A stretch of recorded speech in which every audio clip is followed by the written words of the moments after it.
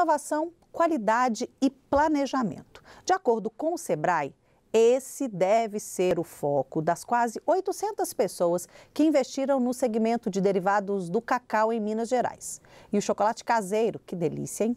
Principalmente com a chegada da Páscoa, vem ganhando a preferência do consumidor. É uma delícia e, ao mesmo tempo, uma arte.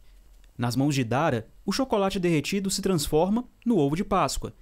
Mas não é um ovo qualquer.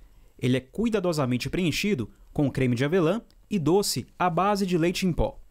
Tudo pronto para entrega ao cliente. Essa é uma das seis variedades que ela oferece. Nos últimos dias, a confeiteira tem se desdobrado para atender a demanda que só cresce. É a primeira vez que ela investe dedicação para a Páscoa. Eu fui gostando, tomando gosto pela confeitaria, pelos doces em geral, até que eu comecei a fazer palha italiana e eu vi que tinha uma saída boa o produto. Então eu fui aumentando o meu mix de produto, eu faço pão de mel, é, bolo, doces para festa.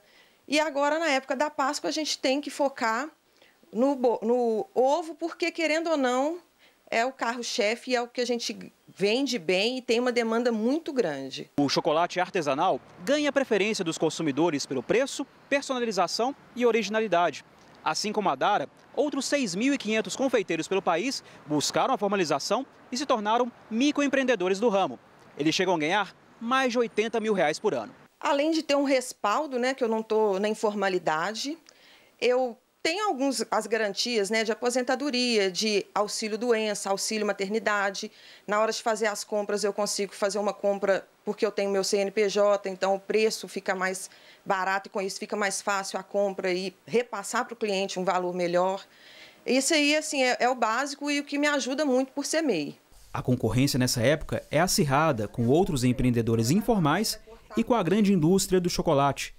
Para a analista de marketing do Sebrae, é importante aproveitar a data para se diferenciar no mercado e conquistar os clientes para o resto do ano. É importante ter estratégias muito claras nesse momento da Páscoa para que a Páscoa seja um cartão de visitas para os produtos que você vai vender ao longo do ano.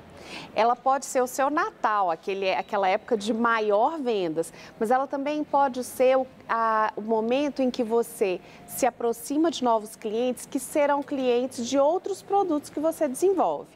Para isso, é muito importante que você tenha, por exemplo, um cadastro de clientes. Esse pode ser o seu diferencial